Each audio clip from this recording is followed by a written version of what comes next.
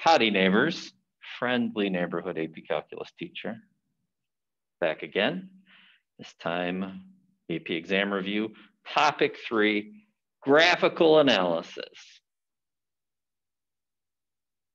Topic three, graphical analysis, tons of justification. All of that stuff we talked about with extrema, the sign change in the first derivative, the second derivative test, a critical value, I'm not, sorry, not a critical value, a slope of zero with a positive or negative second derivative indicating concavity and a relative minimum or maximum respectively. Relative or absolute extrema. Increasing and decreasing functions, points of inflection, horizontal tangents, the derivative test already mentioned. All of these things can happen here.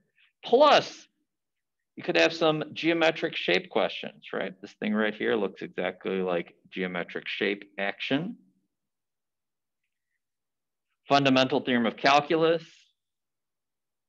I'm done. I'm not talking about any more of these concepts. But what I will say is that topic three is approximately, depending on the year, about 18% of your overall score. So there's going to be multiple choice questions and free response questions if not one entire one, then certainly multiple parts on multiple questions, regardless. Question and a set of topics that comes up a lot. Here's your question for today. It is non-calculator. Enjoy. I will next go over my work. And then, as always, scoring guidelines. So, continuing with my work, here's part A. In part A, you are asked to find the slope of the line tangent to the graph of f at x equals pi. f is the equation. So I need to know the quotient shortcut, the exponential base e shortcut, and the chain rule twice. I did all of that. I got negative one. Part B and part C are very similar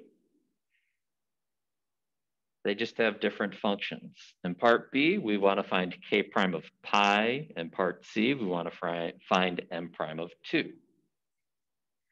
In part B, we need to use the chain rule. Gives us h prime of f times f prime. We evaluate at pi, so we need f of pi and f prime of pi.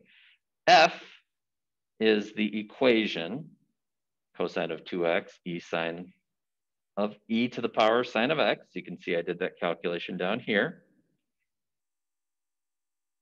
That's how we got a 2 for f of pi. Negative 1, I calculated in part A. So negative 1 third times negative 1 is 1 third. Oh, but where did the negative 1 third come from? The negative 1 third came from doing the graph of h, find h prime at 2. So 2 is right here. I need h prime. The compre or the concept of the derivative we're using here is the slope. So it's a line goes from this point to this point, which is down one, right three. That's a slope of negative one third. That's how I knew negative one third for h prime of two.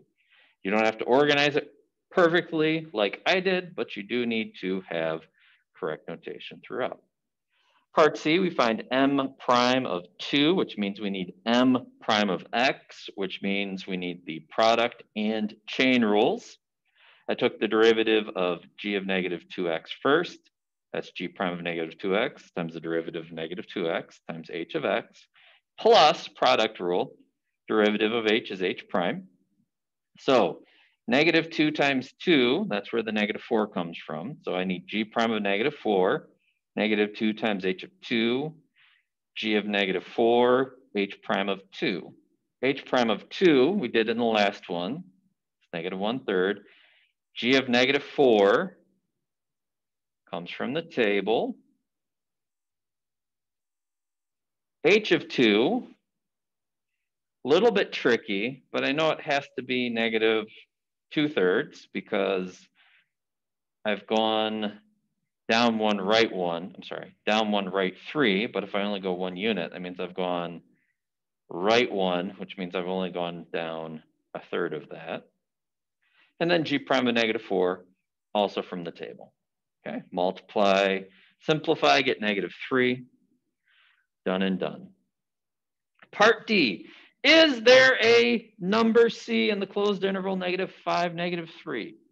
I won't guarantee, but I will say that a phrase like, is there this, does this thing exist, often indicates you're gonna be using one of our favorite theorem friends. In this case, the mean value theorem. How did I know the mean value theorem? Because it's the G prime of, I'm sorry, the G prime of C, which means I'm talking about the derivative of G, which means I would like G to be differentiable. And also I gave it some thought. So I could have tried the intermediate value theorem. And some of you may have tried the intermediate value theorem, but the intermediate value theorem is inconclusive for the interval negative five to negative three. Why is it inconclusive? Because from negative five to negative three, go from negative three to four. And negative four is not on that interval. So you might be tempted to say the intermediate value theorem concludes that there is no such value. That is phony baloney. Not true. The intermediate value theorem applies when a function is continuous, but it can have an inconclusive result. It'll have a conclusive result if the output of the function is between those, but the output of the function is not. That's how I knew I was going to use the mean value theorem. So I talked about how G is differentiable, which means G is continuous on the closed interval and differentiable on the open interval. So the mean value theorem applies for at least one value C on the open interval, negative five, negative three. That was worth one point. You also got one point here for showing that g of negative 3 minus g of negative 5 divided by negative 3 minus negative 5, the average rate of change for g is negative 4. Scoring guidelines time. You get two points for the correct value negative 1, but you get no points if you don't have a correct derivative. Make sure they're labeled. Part B, interesting that it scored differently. I would love to know why. I don't. K prime of X, and then the value one third with correct notation indicating what's what. Letter C, two points for M prime of X. I don't know for sure, but I think it's possible you'll get partial credit here if you do either the product rule or the chain rule. So I think, I suspect, if you do the product rule, you would get one point out of three. If you do the chain rule, you get one point out of three. You have to do both to get m prime, and then you have to do the arithmetic, including grabbing all of these values to get negative three. How you get your third point. For part D, two points, one point for using this average rate of change difference quotient, and then one point for justification with the mean value theorem, talking about how the function is continuous on the closed interval, differentiable on the open interval. So the mean value theorem applies, which means there are at least one C value on the open interval, negative five, negative three, such that G prime of C equals negative four. Thanks for watching. See ya next time. Take care.